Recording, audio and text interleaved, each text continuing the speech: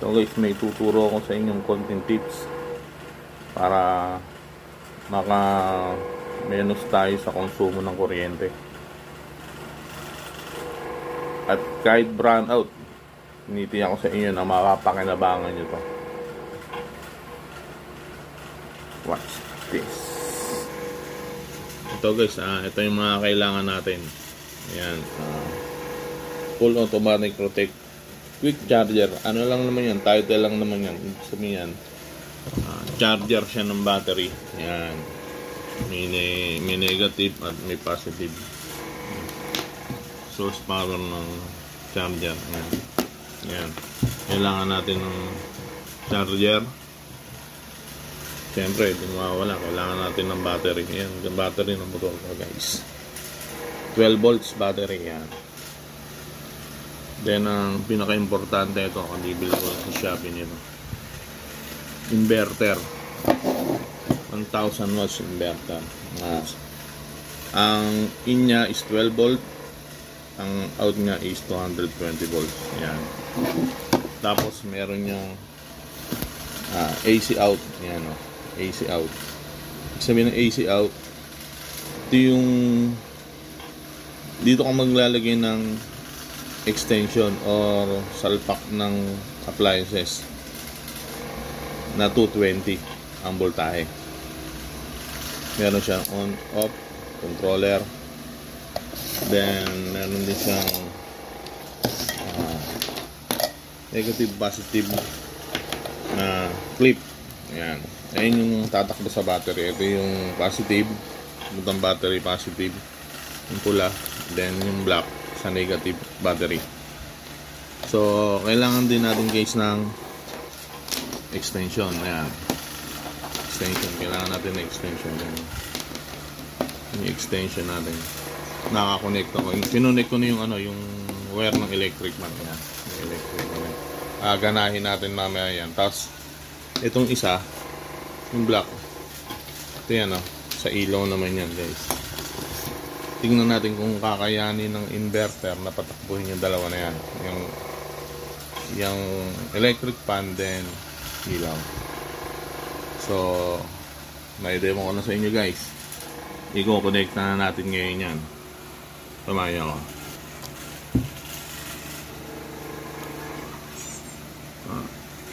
Ito guys, yung positive ng charger, kukonekta natin sa positive ng battery.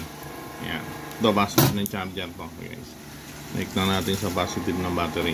Yan. Yung negative ng charger, kukonekta naman natin sa negative ng battery. Yan guys. Karoon ng power.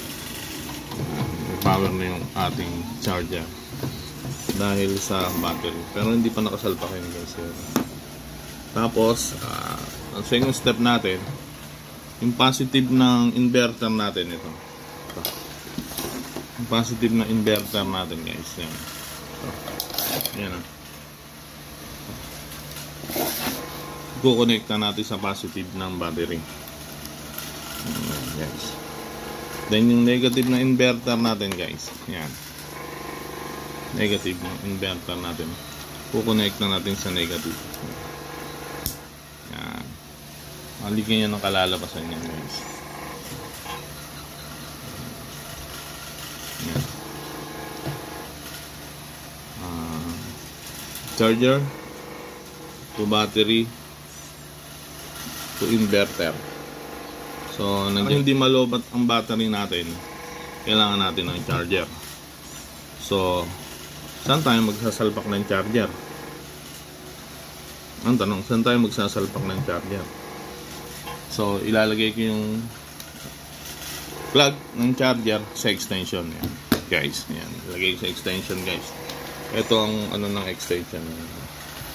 Ang dulo. Walang, ano yan, walang cut yan, guys. Yan.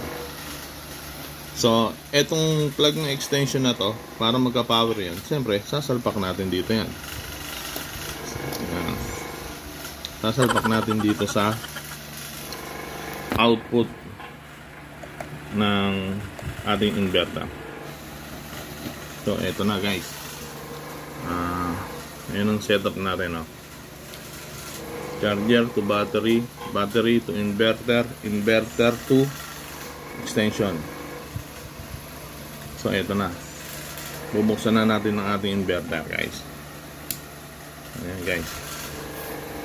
Ito nyo, guys. Umilaw to. Ayan, ang ilaw natin. At gumana yung electric fan natin, guys. So, napakahalagang tips yan, guys. Kahit brand out sa inyo, ayan, oh. Kailangan may ilaw. Or, magagamit nyo rin yan sa internet. Pwede nyo gawing source power ng wifi nyo o internet nyo yan. Kahit brand out, makaka internet pa rin kayo. Ayan, oh.